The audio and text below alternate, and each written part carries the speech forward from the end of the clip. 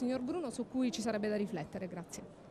Va bene, grazie, va benissimo, mm, magari torneremo a collegarci fra poco e infatti ehm, sono, tantissime, sono, tantissime, le presenze eh, qui a Matera in questi giorni da parte di eh, persone che sono venute eh, da fuori regione per assistere a questa festa molto particolare e sicuramente unica. Ehm, stavamo parlando prima